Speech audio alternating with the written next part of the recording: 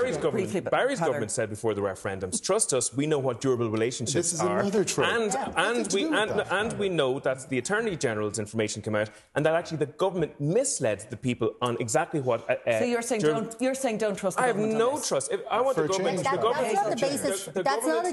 that's not a good. pattern.